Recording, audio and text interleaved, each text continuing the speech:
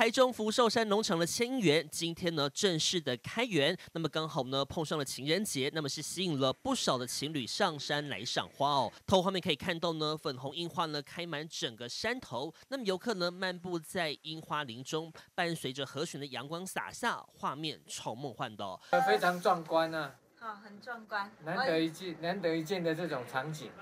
是啊，然后每一颗樱花，